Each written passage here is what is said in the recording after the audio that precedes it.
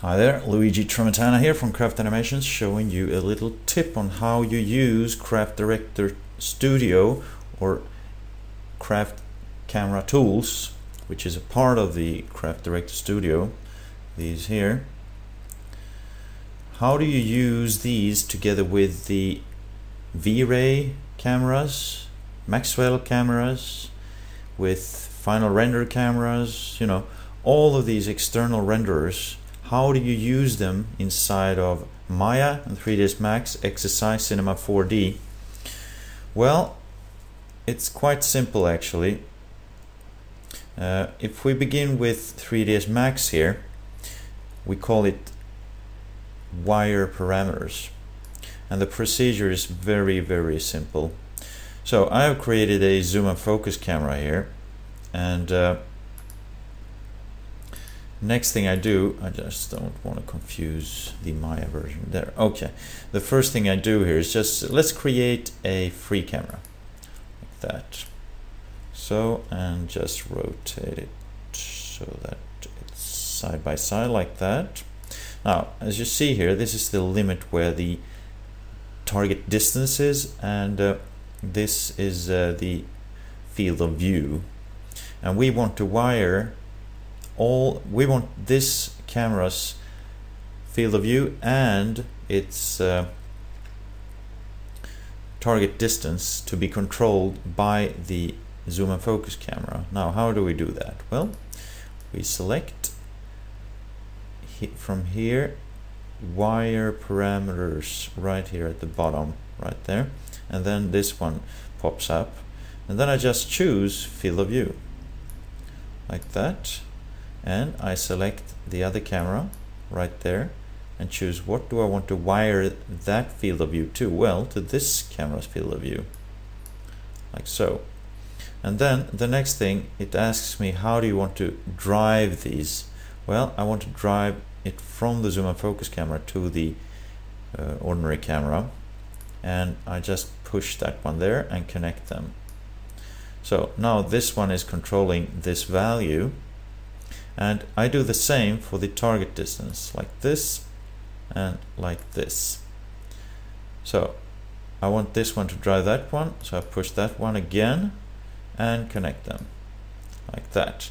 So this means now that both of these uh, values here are driven by this camera here. So if I just select this one to see, the first thing you see here is that the target distance has immediately changed to the zoom and focus camera's camera. And uh, I just hit record there and uh, what I do now if is I grab my Logitech Dual Action gamepad and I start zooming for example and we see that the the ordinary camera zoom completely follows the zoom and focus cameras for zoom in real time. And uh, if I change the target distance here, well, then it follows it too. So the target distance always moves between these points here. That's how the focus, autofocus, so to speak, works. And these you attach to other objects then uh, to have a dynamic situation. And uh, the, the, the final step that you actually do to make this camera be at the identical position to this one is just to align it to this camera like this. Use the align tool and align it in every direction. And to make it follow this camera let's pretend this zoom and focus camera is now lying underneath an observer cam. Uh, well what do I need to do with this camera now? I need to link it or parent it to the camera that I want to follow, which in this case is the zoom and focus camera. So I'll link it there. And uh, let's just create a an observer cam here, just uh, for you to, uh, yeah, like that. And what do we do with this one? Well, we need to we need the zoom and focus cam to follow the observer cam. So we select the zoom and focus cam now and link it to the observer cam. Now we have the proper hierarchy here.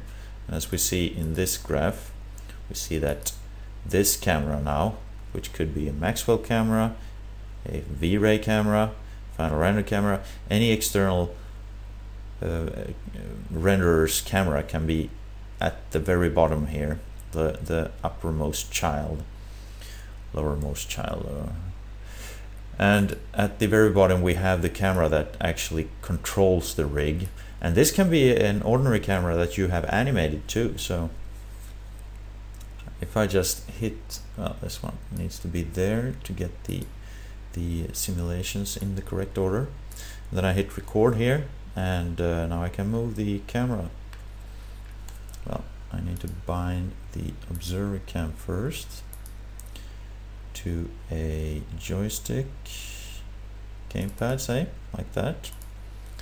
And uh, now they're all mixed here but I can move it like that and we move forward like that. And everything follows and we can see that the uppermost camera here the camera 1 has its field of view changed or the the focal length for that matter when we change the zoom here. Now they're all mixed here. Okay so that's in 3ds max and also the target distance is being changed here as you see like that right over there. So that's that for 3ds max. Now how do you do it in maya? In maya it's a little bit different uh, first of all you need to get hold of the cameras here to be able to to wire the parameters with ease here so let's close down that and in this scene we have the same situation. I will not create the observer cam in this scene because it's quite obvious how you do that. I will just create a camera here, right there, and let's move it. And this is created in centimeters. This scene is in meters, so we need to scale it up a hundred times to get uh, the right scale in meters.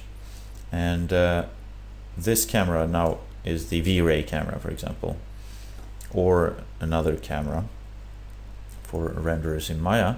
And uh, what we grab here is the transform of the camera. So we can't get hold of the, the connections for these ones unless we display the shapes also.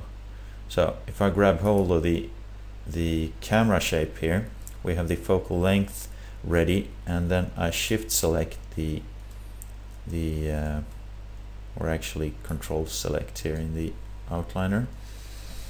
Control select that and then I simply. there are many ways. You can do this with expressions too. So depending on how you usually work this is how you do it.